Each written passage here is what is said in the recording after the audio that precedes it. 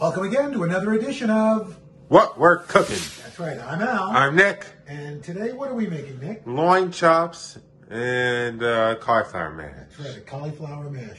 We're going to start with the cauliflower mash because that's going to take the longest because this is basically going to simmer. You take a head of cauliflower, you break it up into florets, some butter. I like to use half and half. Some folks use, uh, my daughter Courtney uh, uses heavy cream, but I'm going to back off a little bit on that. And so we'll get started.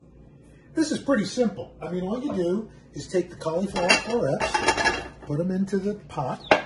Then we're going to take some butter, put that in, and then we're going to take the half and half and pour that in. And then we're going to put this on a slow simmer, and we'll have our next step. Now, while we're simmering our cauliflower, we're going to get our lamb ready, and this will cook pretty quickly. So You mean lamb loin? lamb loin chop, yes. This will cook pretty quickly, so just some olive oil, some salt, and a little pepper.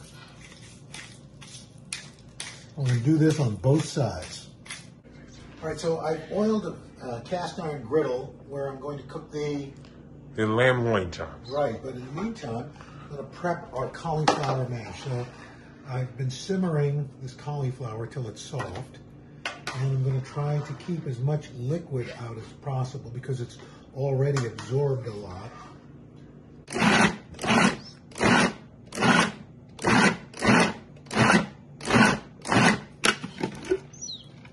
And now we have this beautiful, creamy cauliflower mash.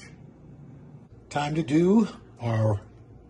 Lamb loin chops. That's right. I don't know what to do. You're not, you're not focusing. I am focusing it yet. Like this. See, young grasshopper, you need to take direction sometimes. Okay, fine. And so there you have it. We've already made our salad. We have our lamb loin chops, and of course, the cauliflower mash. That is what we're cooking. I'm Al. Nick, and that's a wrap. Dad.